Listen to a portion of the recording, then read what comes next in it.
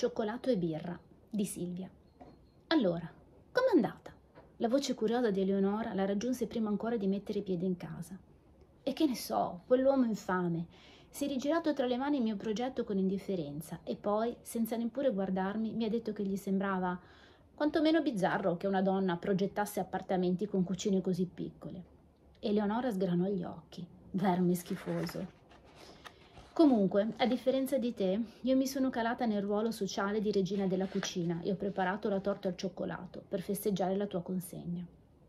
Risero all'unisono, poi diedero il via al rituale post-esame, divano, birra con stuzzichini e la loro serie tv on demand preferita.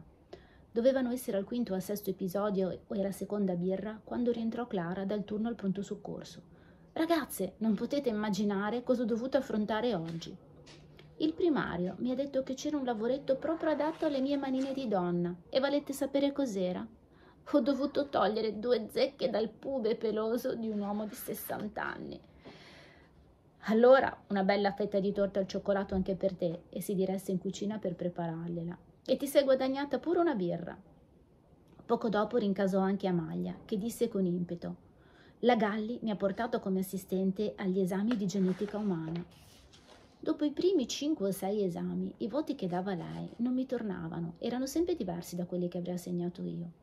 Proprio così, lei dà un voto in più alle donne ed uno in meno agli uomini, dice che è questione di nemesi, vuole vendicare i secoli di ingiustizie che le donne hanno dovuto subire all'università.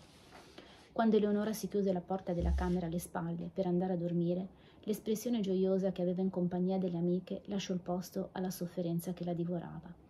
Decise che ne doveva assolutamente parlare con loro. Sì, lo avrebbe fatto, domani però.